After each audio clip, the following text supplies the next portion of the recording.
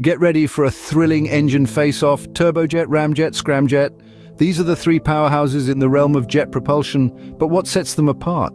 The turbojet, the pioneer of jet engines, employs a sequence of fans to condense air and fuel prior to ignition. It delivers raw power but lacks in fuel efficiency. Then we have the ramjet, the speed chaser. It gives the fans a miss preferring the engine's forward motion to compress air. However, it's not quite the ally of slow speeds. And finally, the scramjet, our wildcard entry. Think of it as a ramjet on steroids. It allows air to pass through at supersonic speeds.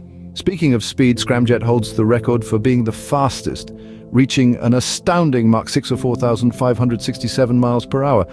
But let's not forget it's also the most challenging to control. There you have it, folks, a quick fire breakdown. If you're up for more rapid rundowns, don't forget to hit that subscribe button.